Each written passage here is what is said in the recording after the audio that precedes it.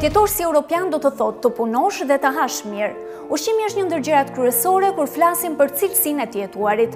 Dhe nëse duam të jetojmë si europianë të vërtetë, atëherë duhet të përzgjedhim produktet ushqimore sipas standardeve europiane. Në ditët e sotme dëgjojmë të flitet shpesh për ushqimet bio dhe ushqimet organike, si dhe ushqimet sipas standardeve europiane. Ndërkohë që këshillohet të konsumohen shumë fruta dhe perime apo perime farore, siç janë fasulet apo thjerrëzat. 10 shkurti është pikërisht dita ndërkombëtare e këtyre perimeve. Shqipëria është një ndër prodhuesit më të mëdhenj të perimeve farore në Europë. Por ndërkohë që flasim për prodhimin e produkteve bujqësore, me të drejtë mund të pyesim se sa respektohen standardet europiane në vendin tonë për prodhimin e këtyre produkteve. Nga ana tjetër, sa i mbështet qeveria dhe institucionet përkatëse, fermerët të cilët kultivojnë produkte bujqësore. Për të mësuar më tepër, ndiqni materialin në vijim. Perimet farore si fasulet, qiqrat apo thjerrëzat kanë qenë pjesë e dietës europiane dhe mbarëbotërore prej mijëra vitesh. Ato shërbejnë si burim i rëndësishëm i proteinave dhe lëndëve të tjera ushqyese, që mund të zëvendësojnë mishin ose produktet e qumshtit. Gjithashtu, kultivimi i tyre redukton përdorimin e plehrave dhe pasuron tokën. 10 shkurti është caktuar si dita ndërkombëtare e këtyre produkteve. Me perime farore iu referohemi farave të ngrënshme të bimëve bishtajore të kultivuara për ushqim, siç janë fasulet e thata, thjerrëzat dhe bizelet. Këto gjenden në pjatat dhe guzhinat kryesore në të gjithë Europën dhe në botë, që nga guzhina mesdhetare tek mëngjesi i plotë tradicional anglez dhe deri tek ushqimi indian. Shqipëria, sipas të dhënave të Eurostat, renditet si një ndër vendet me prodhimin më të lartë të këtyre produkteve në Europë. Për sa i përket prodhimit të tyre, edhe pse mungojnë të dhënat e plota dhe të sakta, gjatë 2-3 viteve të fundit, Shqipëria prodhon dy herë më shumë, krahasuar me shumë vende të rajonit, përfshirë Serbinë apo Maqedoninë, pavarësisht se që nga viti 2014, kur është arritur prodhimi më i lartë i tyre me 30.000 ton, prodhimi ka shënuar rënie. Prodhuesi i tyre më i madh në mesin e vendeve kandidate të Bashkimit Europian është Turqia, ndërkohë që prodhues të mëdhenj të tyre janë edhe Franca, Spanja, Polonia, Gjermania apo Lituania. Por çfarë mund të themi më tepër për prodhimin e këtyre produkteve në Shqipëri? Çfarë vendi zë prodhimi i tyre në prodhimin e përgjithshëm të produkteve bujqësore nga fermerët në vendin tonë? Dhe sa i përmbushin këto produkte? standardet europiane. Data dhjetë shkurt është një datë e rëndësishme të paktën për prodhimet bujqësore shqiptare, sidomos për për leguminozët siç është fasulja, batha apo thjerrëzat. Fasulja në në Europë ose më mirë në Ballkan ka filluar duke u futur në vitet 1700 dhe zuri vendin e thjerrëzës dhe të bathës. Edhe kjo u bë një kulturë tradicionale shqiptare. Kjo zë një vend shumë të rëndësishëm për arsyen e vetme sepse ne jemi konsumatorë të mëdhenj të fasules, kjo dihet tashmë, edhe sipas statistikave dhe në Ballkan ne zëmë vendin e parë të prodhimit të tyre, të fasules, si dhe jemi konsumatorët më të mëdhenj edhe të prodhimit të konsumit, por edhe të prodhimit edhe të importit të fasulës. Sipas Çakallit, fasulja megjithatë ka shënuar rënie të prodhimit në vend, edhe vitet e fundit ajo vjen nga Egjipti dhe nga vendet e lindjes. Ka rënë mbjellja, mbjellja e e ose më mirë kultivimi i fasulës për arsye të ndryshme, kostot e larta që janë në bujqësi, rritja e inputeve bujqësore, Nafta nuk subvencionohet, ndërsa vendet e tjera të Ballkanit e subvencionojnë njëqind për qind. Infrastruktura është më e mirë, fermerët atje mbështeten me politikat e duhura, me këshillime, me me gjithçka. Ndërsa këtu besoj edhe emigrimi i rinisë ka ndikuar direkt që të kemi rënie të kësaj sasie. Por cilat janë arsyet konkrete për rënien e kultivimit të fasules në vend? Zonat ku fasulja ose më mirë ajo që quhet pllaqi e Korçës zë një vend të rëndësishëm në kuzhinën shqiptare si dhe në kultivimin e saj. Emigrimi i të rinjve ka ndiku direkt që kjo sasi të bjerë dhe ne të rrisim nga, nga sigurimi i kësaj sasie në vendin tonë ne ta marrim atë të importuar. Para vitit 2018, Shqipëria prodhonte mbi 30.000 ton fasule, sidomos në jug të vendit. Kjo është, besoj, është një problem, sepse siguria ushqimore tek ato vende lë për të dëshiruar dhe mund të jenë, mund të jenë, si të them, mund të jenë produkte të mbetura ose më mirë gjysëm të skaduara. Ndërsa po të mbështetet prodhimi vendas, ne do të kemi një fasule shumë më të mirë, me vlera ushqyese shumë më të larta, si dhe këto para do qëndronin në vend që do ndikonin direkt në ekonominë shqiptare ose më mirë në ekonominë e vogël familjare të fermerëve tanë. Ndërkohë që flasim për kultivimin e këtyre produkteve dhe më pas shitjen apo eksportin e tyre, një pyetje që ngrihet me të drejtë është se sa të sigurta janë produktet bujqësore shqiptare dhe sa i plotësojnë ato standardet europiane. Mund të përmendim se vetëm disa ditë më parë, një kompani shqiptare që eksportonte prodhime të freskëta të fushës, u bllokua në Serbi, pasi, sipas autoriteteve serbe, prodhimi shqiptar kishte rezultate të larta të pesticideve, gjë për të cilën kompania akuzon palën serbe. Sipas Çakallit, raste të tilla dëmtojnë drejtpërdrejt fermerin shqiptar të lidhur me eksportuesin. Unë nuk di të them se sa e vërtetë është kjo, por për sa kohë kompania serbe nuk pranoi që malli të të t'i bëheshin analizat në një ndër vendet e tjera të Bashkimit Europian, unë lë hije dyshimi se kjo është një luftë ekonomike e fshehtë që po bën Serbia për të falimentuar eksportuesit shqiptarë. Çakalli ngre pyetje nëse Open Ballkan është realisht një ndihmë për fermerët shqiptarë dhe ekonominë e vendit, duke pasur parasysh se kusht kryesor në marrëveshjen e Open Ballkan ishte njohja e certifikatave fitosanitare të produkteve ndërmjet tre vendeve, Shqipërisë, Maqedonisë dhe Serbisë. Por sipas tij, nuk mund të flasim për marrëveshje, por për një luftë të fshehtë. Një diçka tjetër që po bëhet është sepse malli nuk kthehet mbrapa, se zakonisht ne në qoftë se në Itali dërgojmë një sasi të duhur X mall dhe nuk i plotëson standardet, ne e marrim atë mall e sjellim këtu dhe nga këtu ne e dërgojmë në vendet e tjera të lindjes ose më mirë mund ta dërgojmë në Çeki, Poloni ku standardi i sigurisë ushqimore është në një është më i ulët. Dhe fermeri ose më mirë eksportuesi nuk i humbet ato para, por e shet me një çmim tjetër në vendet ku pranohen ato ato prodhime. E, Serbia ka vendosur një kusht që ato prodhime bujqësore të groposen dhe fatura e kësaj i shkon eksportuesit dhe eksportuesi ka një kosto barrë dyfish sepse do paguajë dhe lekët e fermerit që ka blerë mallin, Po ama do paguajë dhe shpenzimet për të groposur atë mall në vendet e ku janë. Ose më mirë ministria e bujqësisë duhet të bëjë një vend grumbullimi, vend groposje në Shqipëri ku kostoja të jetë më e lartë që prodhimet e kthyera nga jashtë të groposen në vendin tonë dhe ajo kosto po e zëmë për një trajler dhjetë mijë euro mos të shkojnë në Serbi, duke ndihmuar ekonominë vendase atje, po ne mund ta bëjmë këtë me pesë mijë euro dhe të ndihmojmë ekonominë tonë. Ai pohon nga ana tjetër se është e vërtetë që jo të gjithë produktet dhe fermerët plotësojnë kushtet dhe standardet europiane, ndërsa prodhimet shqiptare vuajnë mungesën e një kontrolli të vërtetë nga autoritetet. Jo të gjithë i plotësojnë, të jemi realistë për këtë, ka fermerë që mund të bëjnë abuzime, por nuk është Faj i fermerit është faj i AKU-së që nuk kontrollon prodhuesit ose më mirë kultivuesit e fruta-perimeve edhe kjo lë shumë për të dëshiruar. Çakalli shton se edhe pse është një ndër fermerët më të hershëm në veri të vendit, në fermën e tij nuk ka ardhur kurrë një specialist për kontroll apo që mund ta orientojë për çfarë të mbjellë. Të më informojë se çfarë është karenca dhe se si mund t'i përdor helmet ose më mirë pesticidet, se ka fermerë që i përdorin nuk është se i bëjnë me dashje po nuk e dinë nuk e dinë se sa kohëzgjatje sa efektshmëri ka pesticidi tek tek perimet kjo kjo duhet të duhet të ishte duhet të ishte siguria më e lartë por faji i mbetet gjithmonë shtetit jo fermerit.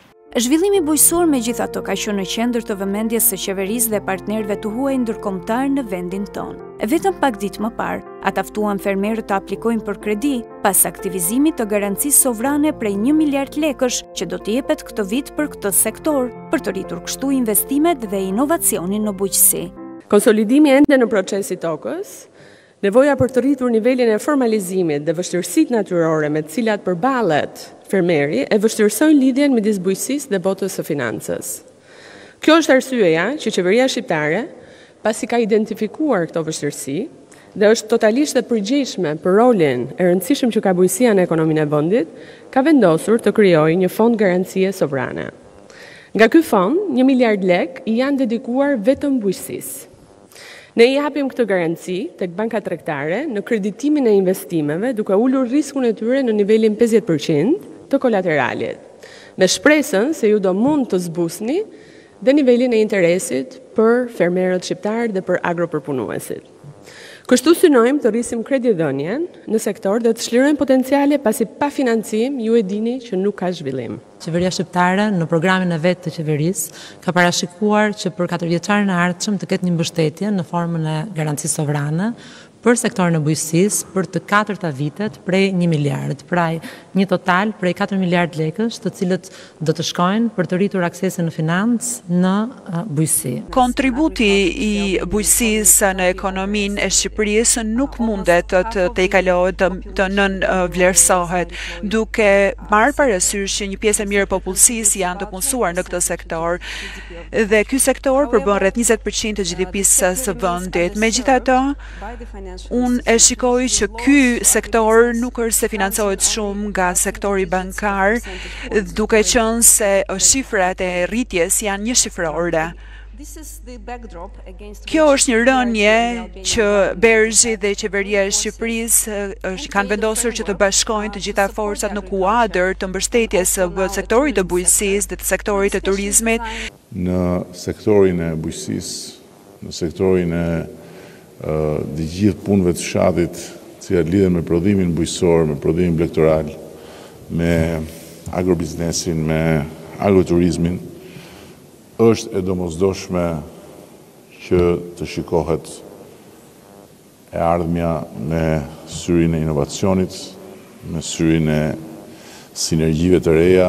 Fondi prej një miliard lekë i drejtohet fermerëve dhe agropërpunuesve të cilët janë duke planifikuar një investim në prodhimin e produkteve bujqësore apo të lidhura me ekonominë blu, në ndërtimin e një sere të re apo të sistemeve të lidhura me të, në rritjen e kapaciteteve dhe cilësisë së paketimit të prodhimeve tona, Në sistemet e ujitjes me pika, në parcelat e fermerëve, në përpunimin e produkteve dhe konsolidimin në tregje, në raftet e supermarketeve, në mënyrë që produktet shqiptare t'i rritet vlera në zinxhir nëpërmjet seleksionimit, përpunimit, paketimit dhe marketimit, që këto procese të ndodhin në vendin tonë për konsumatorin final.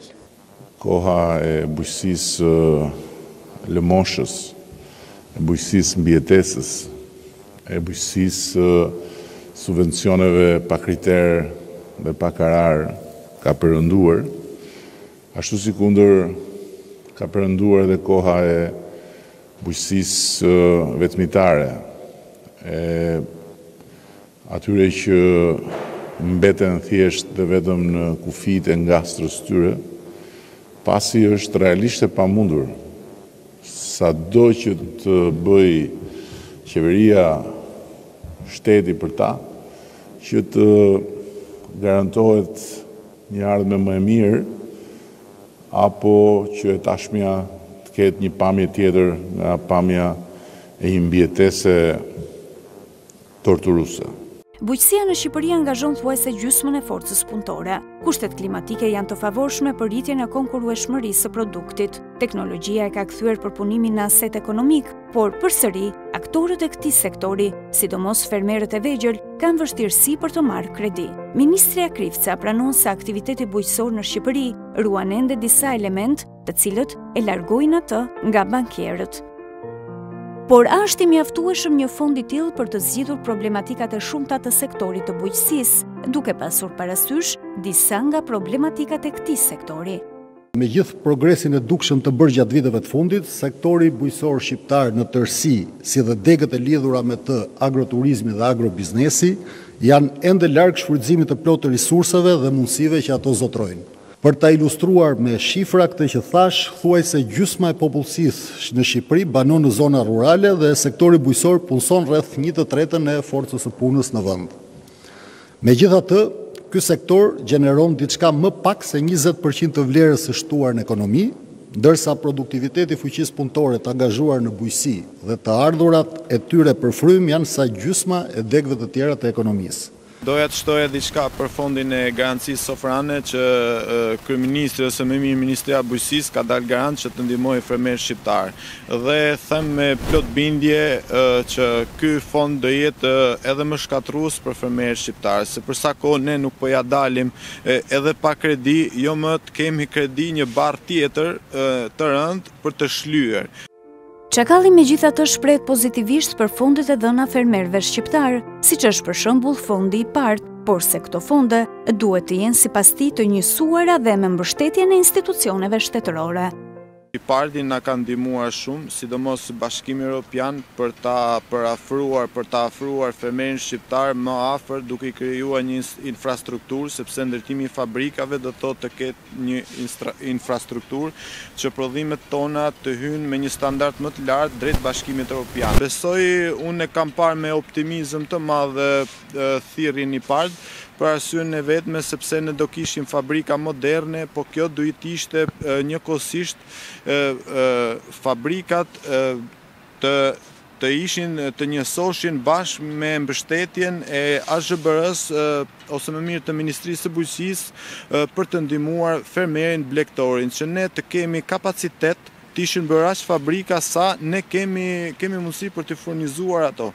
Ai shpjegon se në Shqipëri ka me qindra fabrika të prodhimit të qumështit, por nga ana tjetër nuk kemi se ku ta marrim qumështin, sepse blegtori nuk është ndihmuar për të rritur kapacitetin e tij prodhues. fermeri ose ai blegtori nuk është se ka mjetet e duhura të transportit ose më mirë të ruajtjes së qumështit të djathit e të të nënprodukteve të bulmetit për t'i pru te fabrika dhe kjo rrit koston shumë të lartë për të për ta dërguar prodhimin atje edhe mënyrë kjo ndikon direkt në koston e lartë të prodhimit dhe kjo bën që këto fabrika të shikojnë alternativa të tjera Sipas Çakallit, një tjetër alternativë është marrja e qumështit nga vende të tjera të Ballkanit me kosto më të lirë. Alternativa tjetër është që të marrin qumështin nga vendet e tjera të Ballkanit, siç është Serbia apo Maqedonia, duke e marrë me kosto shumë më të lirë, sepse ata kanë infrastrukturën edhe më të zhvilluar se ne, edhe ne të konsumojmë prodhime të huaja, të konsumojmë djathë serb, të konsumojmë qumështin serb, kosin serb, dhe kjo ka ka bërë që blegtori të ketë mungesë aksesi në tregjet e Tiranës, se dihet tanimë që shitje, shitblerjet më të mëdha bëhen në Tiranë dhe ne nuk nuk arrijmë që të kemi fitime dhe për shkak të kësaj ne arrijmë të të mbyllim fermat, të shesim bak, ato pak bakti që kemi. Ai shpjegon se sidomos këtë vit, me rritjen e lëndës së parë për baktin, si jonxha, elbi, soja e të tjerë, shumë fermerë kanë falimentuar dhe kanë dërguar lopët në thertore. Të dërgosh lopë, një lopë që mund të ketë bërë dy-tre pjellje ta dërgosh në thertore është një ndër fatkeqësitë më të mëdha që bujqësia, blegtoria shqiptare po shkon drejt zhdukjes. Numri i krerëve ka rënë në mënyrë drastike. Ne jemi më keq se pas daljes nga lufta. Çakalli bën me dije se numri i krerëve të bagëtive ka rënë në mënyrë drastike dhe situata është alarmante. Ne kemi numrin e krerëve më të paktë në Shqipëri që nga dalja e pas luftës të vitit një mijë e nëntëqind e dyzet e pesë nga pushtuesit e huaj. Numri i krerëve ka rënë në mënyrë drastike, Para vitit 2013 ne kishim diku ke 480.000 krerë gjedh në gjithë vendin, ndërsa në 2020 sipas i referohem shifrave të INSTAT-it, se këto i njeh dhe qeveria shqiptare, mund të kemi 280.000 krerë. Unë dyshoj që janë edhe më të ulta për shkak të krizës që ndodhi për shkak të pandemisë, Numri mund të ketë rënë diku tek dyqind mijë gjedh. Megjithatë, ndërkohë që flasim për problematikat e fermerit shqiptar, ne mund të përmendim edhe arritjet e këtij sektori. Sipas kreut të BERZH për Shqipërinë, Katerina Solovova, sektori i bujqësisë ka dhënë një vlerë të shtuar, duke pasur kontribut shumë të mirë edhe nga Bashkimi Europian. Sektori i bujqësisë ka dhënë një vlerë të shtuar duke bër, duke pasur edhe një kontribut të shumë të mirë nga Bashkimi Evropian. Pra cilat janë tiparet kryesore të kësaj të këtij kësaj lehtësie? Së pari, disa nga kriteret financiare të huadhënies janë zbutur nëpërmjet kërkesave të kolateralit, të cilat kanë pasur për shembull një ulje të përqindjes së interesit nëpërmjet kapitaleve të huadhënies dhe nëpërmjet rritjes së periudhës së kredidhënies deri në 10 vjet. Ajo vëren se në 2016-ën, katër banka kanë dhënë rreth 6000 kredi në sektorin e agrobiznesit në një shumë prej 72 milionë eurosh. Këto fonde të ofruara nga Bashkimi Evropian dhe nga Qeveria e Shqipërisë përbëjnë rreth 10% të shumës së kredisë, duke i dhënë mundësinë këtyre huamarrësve që të investojnë në teknologji për të rritur eficiencën e biznesit të tyre. Dhe së fundmi, diçka është një asistencë teknike shumë e mirë e cila i është ofruar bankave nga BERZH-i nëpërmjet konsulencës për bizneset e vogla, bizneseve të vogla nëpërmjet konsulencës për këta kredimarrës. Ndërsa guvernatori i Bankës së Shqipërisë, Gent Sejko, bën me dije se zhvillimi i qëndrueshëm dhe i balancuar i vendit kërkon vëmendje më të madhe të sektorit bujqësor, në interes jo vetëm të përmirësimit të strukturës prodhuese, por edhe të rritjes së mirëqenies së popullsisë rurale dhe të promovimit të barazisë sociale. Problemet e zhvillimit të sektorit bujqësor janë të shumta dhe komplekse, në një masë të madhe ato qëndrojnë jashtë sferës së ekspertizës së Bankës së Shqipërisë. Megjithatë, jam i bindur se tema e diskutimit sotëm, mbështetja me fonde dhe kredi e sektorit bujqësor, meriton të ketë një vëmendje më të madhe nga sektori bankar. Aktualisht, sektori bujqësor përfiton vetëm 1.7% të financimit që bankat ofrojnë për biznesin privat. Por, cilat janë rreziqet e kreditimit në bujqësi? Arsyeja e parë e nivelit të ulët të kreditimit ka të bëjë me rrezikun e lartë, real dhe të perceptuar që ka investimi në bujqësi. Sidoqoftë ky rrezik, mendoj se është drejt reduktimit. Nga njëra anë, Përmirësimi i infrastrukturës mbështetëse të prodhimit bujqësor, përmirësimi i rrjetit rrugor dhe konsolidimi i zinxhirit të tregtisë që sjell produktet në tregje përmirëson modelin e biznesit të këtij sektori dhe nga ana tjetër promovimi i agroturizmit dhe mbështetja e agrobiznesit rrit zinxhirin e vlerës së shtuar dhe rentabilitetin e investimit në bujqësi. Në këtë kontekst, dëshiroj të përshëndes skemën e mekanizmit lehtësues të agrobiznesit, skemë e cila përfshin kontributin e përbashkët të qeverisë shqiptare dhe të Bankës Europiane për Rindërtim dhe Zhvillim. Kjo skemë ofron një kontribut të qenësishëm rreth nivelit të njëqind e pesëdhjetë milion eurove, si në formën e kredive direkte, ashtu dhe në formën e mbështetjes me garanci për kreditim. Duke u nisur nga një përvojë më e gjerë europiane dhe botërore, Sejko vëren se reduktimi i rrezikut në bujqësi, mund të adresohet edhe nëpërmjet promovimit të skemave të sigurimit privat. Sipas tij, arsyeja e dytë e nivelit të ulët të kreditimit në bujqësi ka të bëjë me fragmentarizimin e tokës bujqësore. Duke iu referuar të dhënave të Komisionit Europian, një fermë tipike shqiptare zotëron mesatarisht 1.2 hektar tokë, krahasuar me një mesatare prej 14 hektarësh që ka në Europë. Në të njëjtën kohë, sipas të dhënave të Instatit, rreth 99.6 për qind e bizneseve bujqësore punësojnë nga një deri në katër të punësuar, një raport ky dukshëm më i lartë se mesatarja e sektorëve të tjerë të ekonomisë. Mendoj se ka nevojë për një ndërgjegjësim më të madh të fermerit shqiptar për krijimin e partneriteteve dhe skemave kolektive të ndarjes së rrezikut, të bazuara mbi iniciativën e lirë dhe interesat e përbashkëta. Këto partneritete përmirësojnë aksesin e fermerëve në kredi dhe shanset e tyre për sukses. Në shumë raste, titulli i pronësisë mungon ose vlera e tij është e ulët përkundrejt nevojave për financim që kanë fermerët. Skemat e garancisë sovrane ofrojnë një zgjidhje të përshtatshme në afatshkurtër dhe në afatmesëm për zgjidhjen e këtij problemi. Një arsye tjetër është mungesa e një kolaterali të shëndoshë. Ai vëren se përtej këtyre problematikave, përmirësimi i vazhdueshëm strukturor, modernizimi i bujqësisë dhe mbështetja e formave të ndryshme, do të ofrojnë një realitet të ri për sektorin bujqësor në vend. Shqipëria gëzon rreth 24 për qind të territorit të saj si tokë bujqësore, si dhe ofron mundësi ende të pashfrytëzuara plotësisht në fushën e agroturizmit dhe agrobiznesit.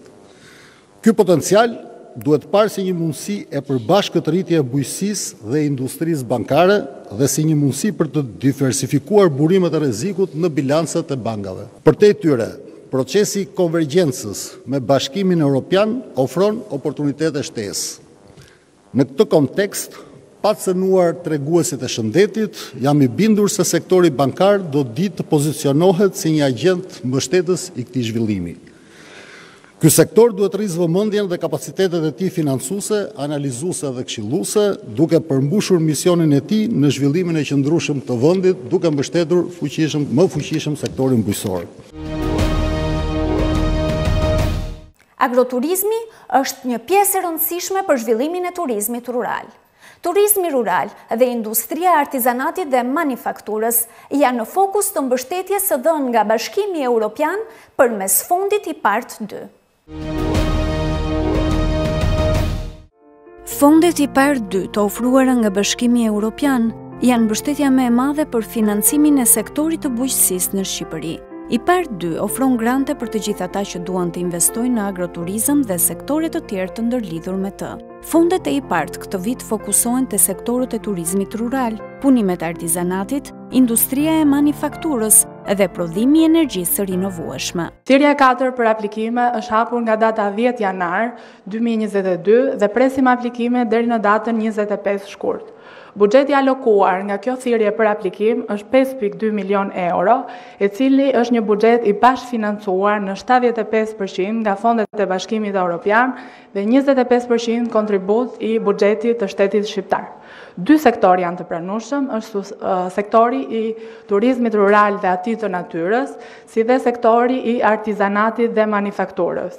Pra, kushdo që ka dhe do të investojë në turizëm rural, të ngrejë një bujtinë në fshat, apo të krijojë një aktivitet të ri akomodimi, nëpërmjet ndërtimit, rikonstruksionit, pajisjeve apo të gjitha le të themi pajisjeve ndihmëse për aktivitete rekreative dhe për sportet në natyrë, Për të promovuar një zonë rurale, mund të aplikojë dhe të përfitojë grant me gjashtëdhjetë e pesë për qind të vlerës së investimit të projektit. Këtu do të përqendrohemi, siç e dëgjuam, në zhvillimin e natyrës dhe turizmit rural, por po ashtu edhe në pjesën e produkteve artizanale.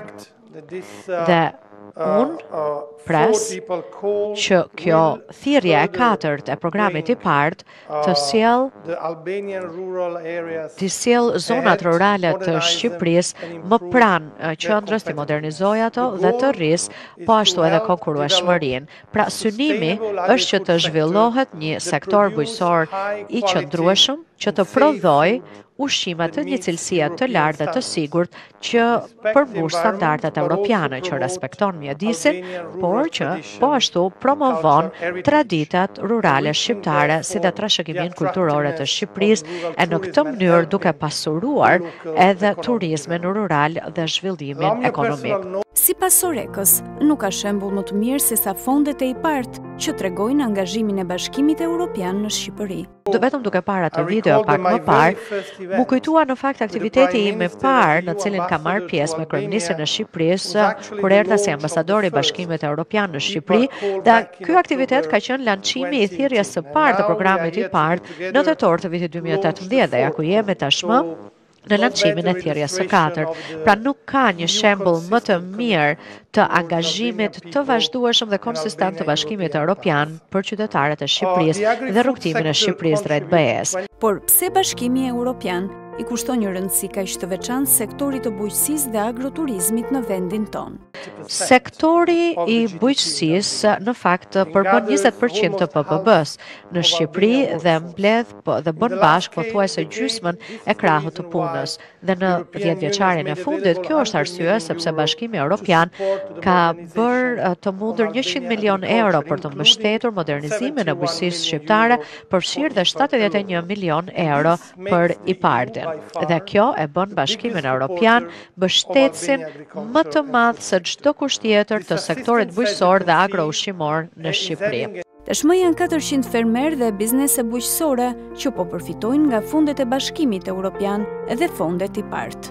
Sipas ambasadorit Soreka, edhe qeveria e Shqipërisë duhet të ndërmarrë disa hapa të mëtejshëm që lidhen edhe me strukturat kontrolluese të produkteve, por edhe me transparencën e përdorimit të fondeve dhënë nga Bashkimi Europian. Edhe qeveria e Shqipërisë duhet të marrë disa hapa të mëtejshme, si për shembull regjistri i fermerëve që ekziston tashmë, por edhe që të ketë pra rrjetin kontabël të të dhënave për fermerët. Po ashtu do duhet që të ketë pra edhe një politikë të qartë për të mbështetur një nivel më të lartë të funksionimit të IPARD-it, jo vetëm sa i përket strukturave menaxheriale, por edhe atyre kontrolluese, dhe mbi të gjitha është thelbësore që të sigurohet transparenca dhe saktësia e përdorimit të fondeve të Bashkimit Europian. Ambasadori vëren se integrimi europian i Shqipërisë duhet të ndodhë jo vetëm në qytete, por edhe në zonat rurale. Për mua është e qartë që integrimi europian i Shqipërisë do duhet që të ndodhë jo vetëm në qytete, por edhe në fshatra,